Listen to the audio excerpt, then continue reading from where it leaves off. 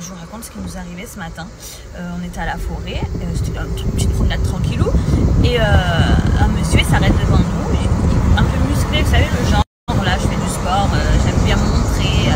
et d'un coup il se met devant nous, mais genre à 3 mètres, et il se commence à faire des pompes au sol. C'est vrai que c'était une situation assez atypique. Moi, personnellement, personne en- dans la forêt s'est jamais mis devant moi à faire des pompes. Euh, un peu pour faire le beau, j'avais l'impression. Bref. Et c'est vrai que c'était une situation qui n'était pas tout à fait normale, pas qu'on voit tous les jours. Et Tiger, le mec il se couche au sol, il commence à faire des pompes. Et Tiger d'un coup il se met en protection devant nous. Mais c'était trop chou à voir comment il a capté qu'il y avait un truc pas normal. Du coup le mec ça l'a vite calmé. il allait faire ses pompes ailleurs.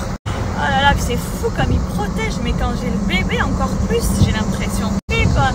C'est vrai que même moi j'ai trouvé ça bizarre quoi. Le mec il se met au sol un peu. Ah, je pense que c'était un peu pour faire le. Et euh, voilà. Donc du coup, Tiger, voilà, c'est fou comment il a l'instinct de protection, mais c'est inné quoi. C'est un truc de malade.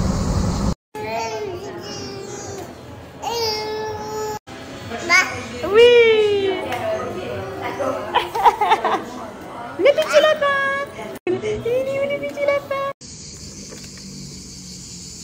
Fait des squats.